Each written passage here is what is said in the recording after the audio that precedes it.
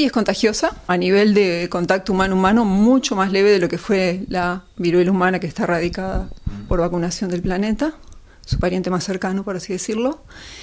Y el contagio es por contacto directo entre personas que están o animales que están eh, infectados, o también puede haber pequeña una contaminación a, través de gotículas, personas que tengan pústulas a nivel del rostro, de la boca, con alguien también cercano. Tiene que haber un contacto cercano.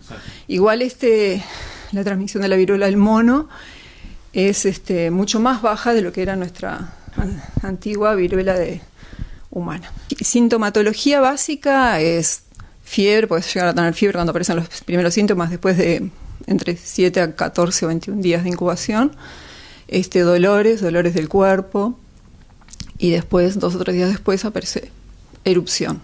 No es lo mismo que el coronavirus, lo venimos de una pandemia de COVID-19, son, son cosas totalmente distintas. Son bien diferentes, si bien ahora esto, esto está bajo observación en la Organización Mundial de la Salud, no es al nivel de comisiones de alta urgencia como son las que se trató el tema de la pandemia de SARS-CoV-2. En este caso es un virus con características diferentes de lo que es un el coronavirus. Este es un virus con genoma ADN. Si bien este es zoonótico, porque infecta otras especies además de su reservorio natural que es un roedor, eh, tiene otro comportamiento diferente a lo que es este.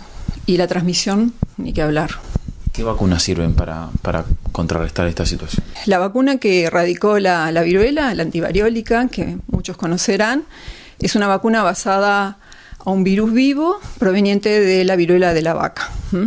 Se realizó, digamos, a partir de, de, una adaptación de ese virus se creó un virus que es el virus vaccinia. Es un virus este, que es una gran herramienta a nivel de laboratorio, muy estudiado, fue el primer virus que fue cultivado en laboratorio, fue el primer virus que se hizo la microscopía electrónica. Ese es el virus que contienen las vacunas, ese es el virus que, estuvo presente en la vacuna antivariólica.